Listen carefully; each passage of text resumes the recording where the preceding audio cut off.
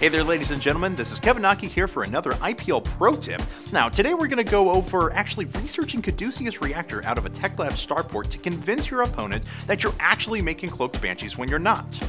In Terran vs. Terran, a player is likely to scan your main base around the 6 minute and 30 second mark. You can upgrade the Caduceus Reactor, which is half the price of Cloak, which in turn causes your Tech Lab on the starport to look active.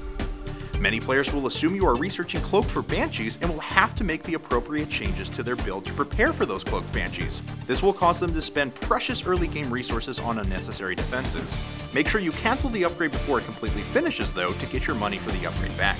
Okay guys, well that's it for this pro tip. If you want to check out more, make sure you subscribe to youtube.com slash IPL Academy.